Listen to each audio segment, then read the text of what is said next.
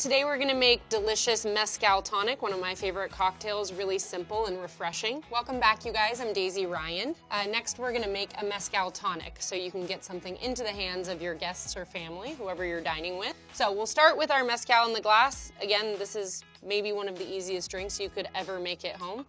Another little known fact, I actually spent most of my career making cocktails, not food. So that was when I really learned uh, a lot about different kinds of liquors. Uh, making cocktails is not that different from making food, putting together different recipes, different flavors. Uh, what I'm doing here is just kind of chilling down the mezcal. Now I'm gonna pour some tonic right on top. This is a highball drink that we're making. A highball is any spirit mixed with a carbonated beverage. Little pinch of chili flake for some color, and then of course a lime. I like to squeeze mine right on top and just stick it in there. Now you have to taste it. Yep, favorite thing.